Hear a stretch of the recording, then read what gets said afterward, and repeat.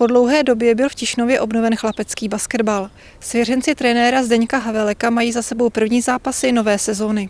Úvodní střetnutí se hráli Tišnovští na domácí palubovce v sobotu 3. října. Soupeři jim byli v tělocvičně základní školy Smíškova, basketbalisté ze sportovní akademie Mládeže Brno. Začínáme sezónu vlastně s dětmi do 11 let a do 14 let a první sezónu tady začínají kluci vlastně do 19 let, kteří nám přišli z Brna a vlastně hrají pod naší hlavičkou.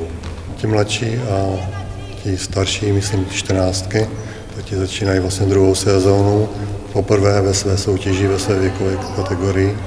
Takže dneska je to pro ně první zápas vlastně v sezóně, snad první bude jich víc. Týmy mladých basketbalistů se podařilo sestavit loni z kluků, kteří dříve trénovali ve smíšené přípravce a synů současných asistentů. První sezóna byla taková seznamovací, jak začínali kluci. Někteří přišli z přípravky, někteří se přidávali od toho dubna až po to září, někteří přišli dokonce i v září a už začali i na konci měsíce hrát.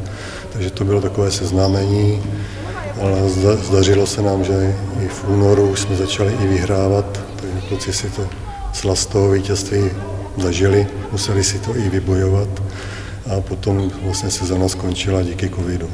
Zatímco basketbalového potěru, tedy těch nejmenších zájemců o Košíkovou v Tišnově přibývá, trenéři by rádi ještě posílili a doplnili talentovanými hráči také stávající družstva v kategoriích U14 a U19.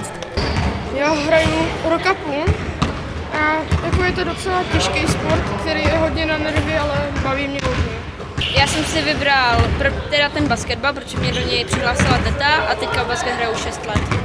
Proč Tišnovský basketbal prezentovali dlouhé roky jen dívky? Tam si myslím, že mužský basketbal zůstal u těch mužů. Nevím, jestli tam nebyl nikdo, kdo by se chtěl věnovat těm mladým, nebo nezdařilo se nabrat mladé, aby byla ta, to zázemí. A myslím si, že taky to bylo vlivem těch nových sportů, jako florbal a dalších. Takže tam byl určitě nějaký odliv vlastně těch kluků k jinému sportu. Díky tomu jsme trpěli vlastně tím nedostatkem.